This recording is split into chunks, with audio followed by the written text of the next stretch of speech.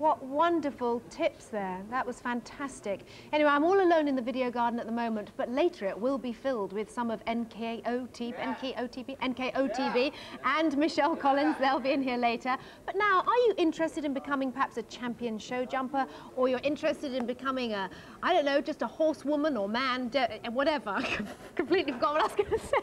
But Nick Skelton has got top five tips for you that are really fantastic and they're very inspiring. So watch this.